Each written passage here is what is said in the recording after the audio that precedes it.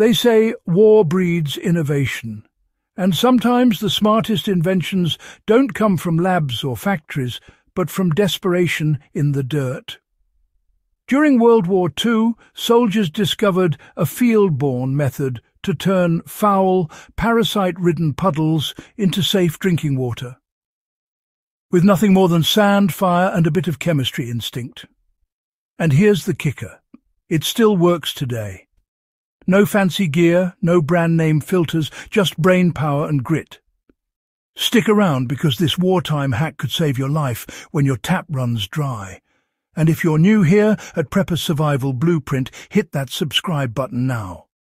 We don't just talk survival, we live it.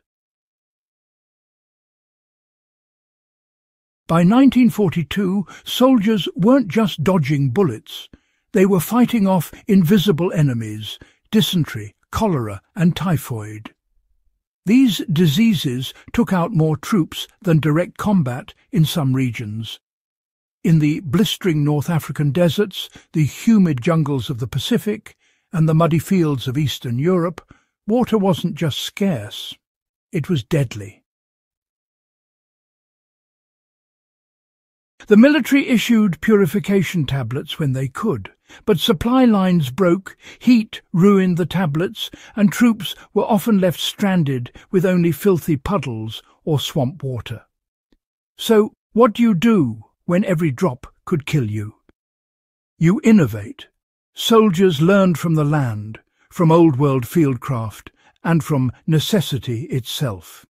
They developed what's now called the sand and charcoal filtration method, a primitive-looking but genius system that turned death traps into drinkable water. Here's how it worked, and honestly, it still works just as effectively. Soldiers would dig a small pit near a water source, never directly in it, but close enough that groundwater could naturally seep in through the earth. That slow seepage was nature's first filter, as water passed through sand and soil layers that trapped debris, algae, and even some bacteria.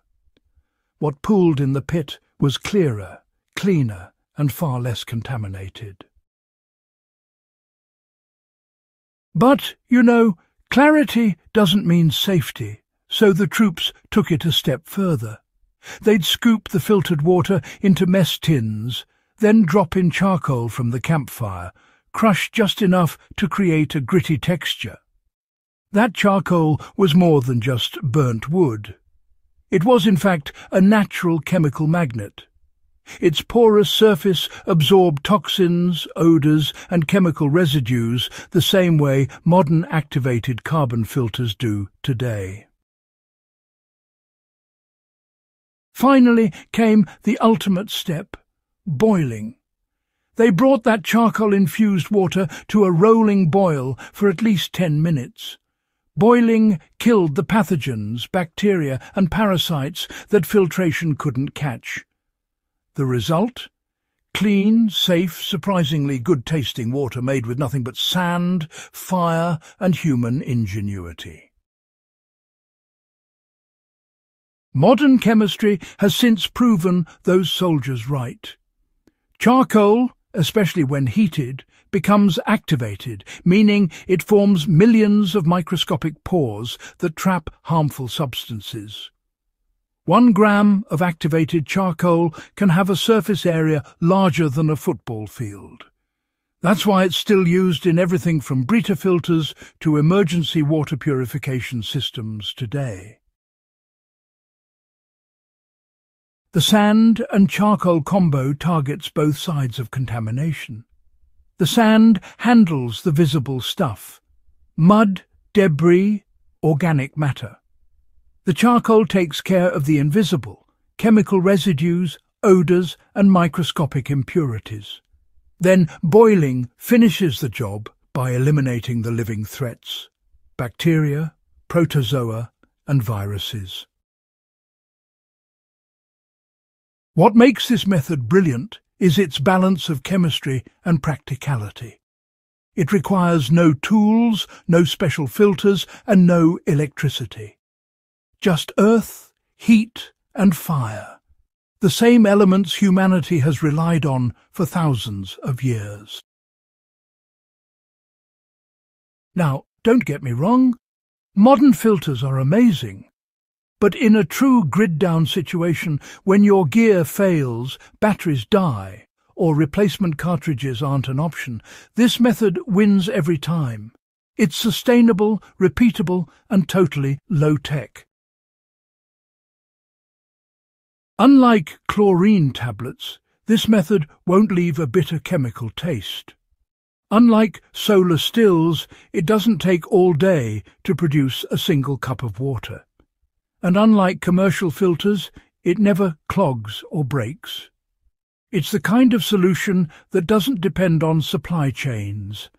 It depends on you. Even modern survival experts and bushcrafters have tested it side by side with popular filters. The results? Nearly identical microbial safety and water clarity. Sure, it may not remove every heavy metal, but in most survival scenarios, it'll keep you alive, cleanly and confidently. Let's say you're off-grid, camping, or stuck after a disaster. Here's how to do what World War II soldiers did. Find a riverbank, lake edge, or even a muddy puddle. Dig a shallow pit about one to two feet deep nearby. Let the water naturally seep in. That's your first filtration stage. Once the water looks clearer, scoop it up carefully into a pot or canteen. All right, next, grab some charcoal from your fire. Crush it, not into dust, just coarse enough that it has texture, you know? Then drop it into your pot, add the water, and bring it to a hard boil for ten minutes. After that, let it cool and strain it through a clean cloth or your shirt, if necessary. You'll end up with clear, safe, drinkable water that tastes far better than plain boiled water. This is the kind of old-school skill that separates survivors from the unprepared. It's simple science.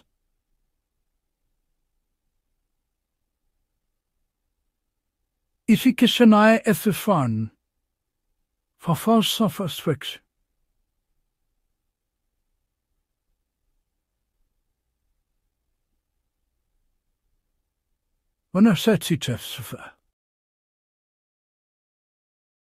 World War II wasn't just a fight of nations, it was a test of human adaptability. Those soldiers, armed with little more than grit and resourcefulness, rediscovered what ancient civilizations already knew, that nature gives us the tools to survive if we understand how to use them. We live in a time of convenience, bottled water, UV pens, electronic filters. But what happens when the grid fails? When your gadgets die? That's when these forgotten methods shine again. This isn't nostalgia. It's preparedness. The past still teaches us how to outlast the future. So, whether you're a prepper, adventurer, or just someone who values self-reliance, try building your own mini World War II style filtration setup. Experiment with different soils. Play with layering charcoal and sand. You'll see the results instantly. Clear, safe, drinkable water straight from the ground.